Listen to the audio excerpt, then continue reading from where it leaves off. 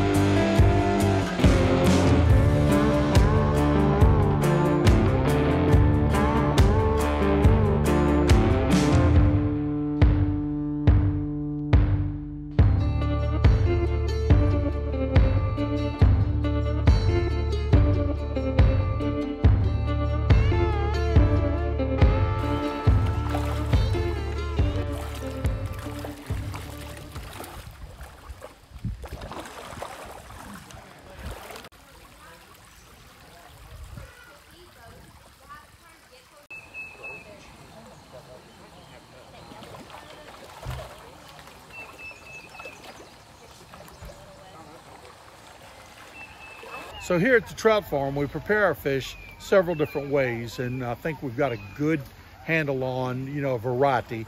And you can have your fish blackened, which is a grilled fish. You can have it lemon peppered, which is a grilled fish. Also, you can have it fried. So there are some options there for you if you decide that you want to eat the fish. But the, the biggest thing is, is that we do a great job at deboning that fish and cutting that fish down. We cut for all the local restaurants from here to Knoxville. Uh, we're in the back ends of most of those restaurants. And only way that we can do that is with the little board that we've invented to use here to hold that fish in its place. Guy Fieri, good friend, great guy, came here. We done a little show with him called All American Road Trip with Guy. That will air June the 9th at 9 p.m. on the Food Network channel. He uh, was impressed with the way things went in our cut house and how we cut all the fish that we cut we cut somewhere around two to 3,000 fish a week, every single week. So it's a big process. We stay busy and uh, we're doing everything that we can to enhance your stay with us and your time with us. So y'all come on down to the trout farm when you get a chance. Love to have you. How many trout do y'all keep stocked in, in your pond? Well, we'll stock probably a couple, 3,000 a week every week. We go through that many. Wow. So uh, right now in the pond there's probably, uh, I'm guessing somewhere around 800 to 1,000. And you also, uh, not only you can, the people come here to catch trout, but you also provide trout to some of the area restaurants? Correct. That's our wholesale business. Our, our figured out in East Tennessee here, you know, it was a tourist driven area and uh, most people that had small businesses that were based on tourism uh, usually had to revert to something else for the winter months for uh, to income. Sure. So I owned this place. I bought it. Everything I had was here. So I had to try to figure out a way to make this place work for me, even in the winter months when there wasn't a lot of business here. Of course, it's the, with the tourism, the great job that they're doing uh, with the uh, uh, tourism in this area.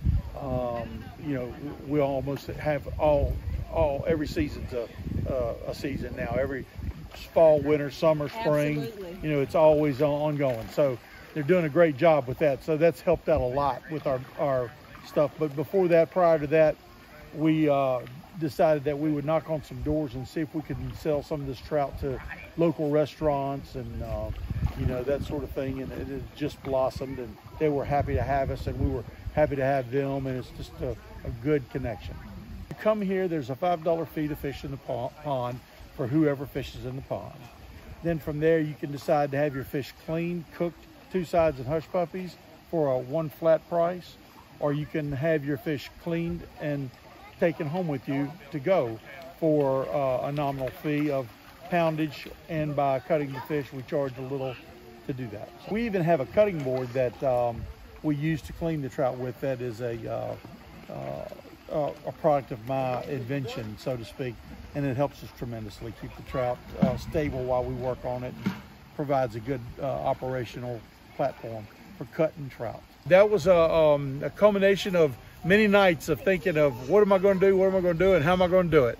So my wife and I came up with the plan. We knew it had to be a good piece of cutting board material, but not just any board would do because the trout are, if you've ever handled trout, you know they're slippery as all get out. They are So that. we figured out a way to pin them down, hold them down to while we do the cutting on the fish, and it really gives us a good, clean, operational cut on that trout.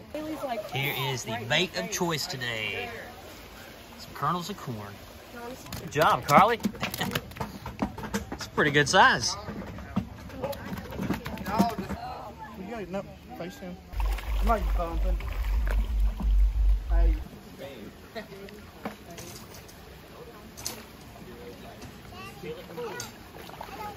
Good job, Gentry.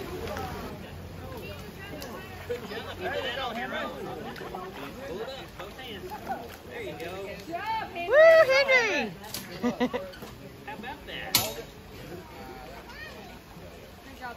Oh, got another one.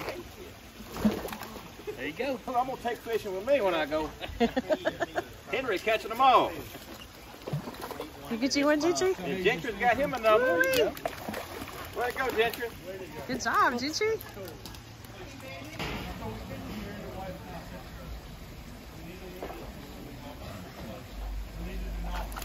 oh my goodness. Woo, that's a clapper. That's a nice one, Carly. Thank you, Henry. Gentry, what do you think about that? It's amazing. I think I want to be a fisherman now. One thing we want to point out, it is a cash-only site. They do have an ATM on site if you didn't bring your cash with you. All right, so Cindy got the lemon pepper trout with fries and macaroni. And David got the fried trout with macaroni and coleslaw. Jennifer got the blackened with green beans and macaroni. Carly got the kids meal here with macaroni and fries. Henry got the fish meal fried fish with fries and macaroni. And Gentry got the blackened trout with macaroni and fries. And then I got the fried trout with macaroni and applesauce. And of course, it does come with their specialty hush puppies. I want to point out that this may be house-made applesauce. There are big chunks of apples in here. This is definitely not something that you just get out of a jar. That was English Mountain Trout Farm and Grill. Gentry, what do you think about English Mountain? It's very peaceful here, and I like that you can fish, and you should definitely come here.